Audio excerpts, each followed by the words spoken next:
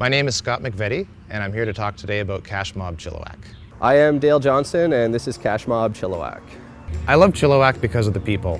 I, have been in many different cities over the course of my life, and the people in Chilliwack are just a little more genuine and a little more sincere. And those are the same people that are running the local businesses here, and those are the people that we would love to support with Cash Mob Chilliwack. So I saw a story about Cash Mob, and uh, I said to my wife, you know, what a great idea. We should try and do something like that ourselves. And uh, we pitched it to a friend, Scott, and his wife, and, and they were in full support, so away we went. Uh, we set a date a month in advance and made the uh, agreement with each other that we would spend no money and uh, we would just do a total grassroots type promotion to see where we can get with it. So, you know, at this time we've got 100 plus people liked us on Facebook and, and we're hoping to have a huge turnout on, on June 1st at 7 p.m.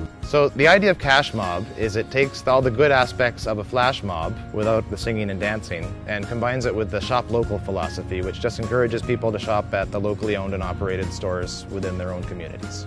Every election cycle uh, for City Council in Chilliwack always asks the same question for, you know, as long as I've known, what are we going to do about downtown? Uh, what are we going to do about the unique character and businesses in this town? And the answer always seems to be looking for government to answer uh, the question. I think that it's up to the people who live here to support the business. The first Chilliwack Cash Mob will be on June 1st, and we're all meeting at the park at the end of Mill Street and Victoria here in Chilliwack at 7 p.m. And once the group converges, we will announce the store that we're going to be supporting that night.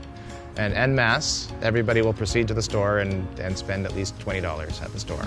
And after that, we're going to have uh, an after party at a local establishment where we can have a celebratory drink and, and meet some new friends. So for everybody who sees this video, uh, first off, like us on Facebook, uh, share it with your friends, let people know about our event. Second, get out there and support local business. If you can't make it to the cash mob, it doesn't mean you can't come down the next day or the day before and still shop downtown. Show the local merchants that you care.